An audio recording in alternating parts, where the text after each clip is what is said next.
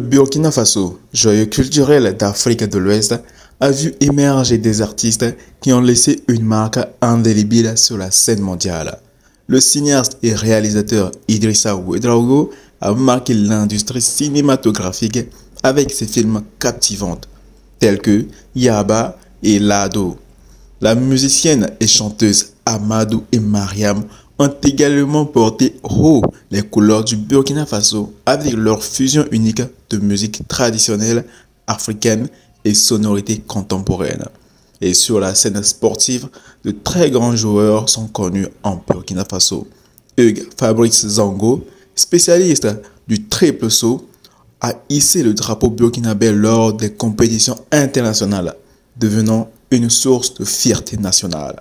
Et en parlant de la présidence de la culture, dans l'effervescence culturelle du Burkina Faso, le président actuel de la culture, Aïssouto Sankara, incarne l'engagement envers la préservation et la promotion des richesses culturelles du pays. Des initiatives visant à soutenir les artistes locaux, à promouvoir leurs festivals culturels et à engager la créativité sont au cœur de sa mission. Et sans oublier la gastronomie burkinabèse, délicieuse, authentique et marquée par des saveurs variées et des plats nourrissants.